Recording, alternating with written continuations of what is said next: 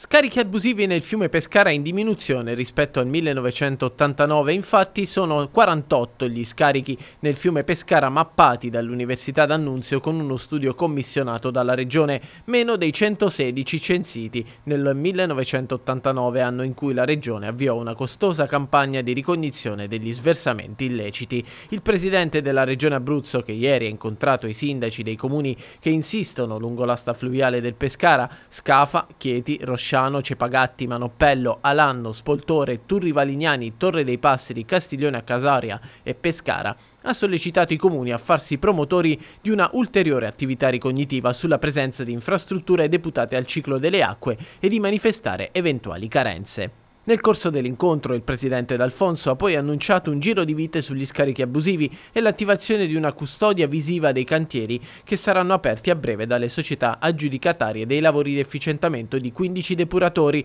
lavori appaltati da ACA grazie ad un finanziamento della Regione Abruzzo pari a 36 milioni di euro.